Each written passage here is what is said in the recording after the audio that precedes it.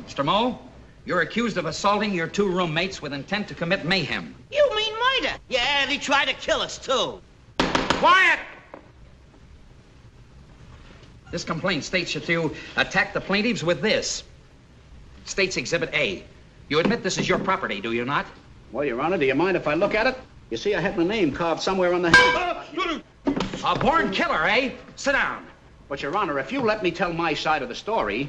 You mean you have something to say in extenuation? Oh, not that. No, no, not that, Your Honor. You see, I had a good reason. Were you ever indicted? Not since I was a baby, Your Honor. But I'm a sick man. A very sick man. And I've had two very serious operations. And this one here for crushed grape seeds. Yeah. Right here. Oh, I have one exactly like that. You have? Yeah, let me show it to you. Look, see here? Oh, that's a bum job. That's like hemstitching with a picot edge. I know. Yep. Sit down. We'll continue with the testimony. As I said before, Your Honor, Yes? I'm a very sick man.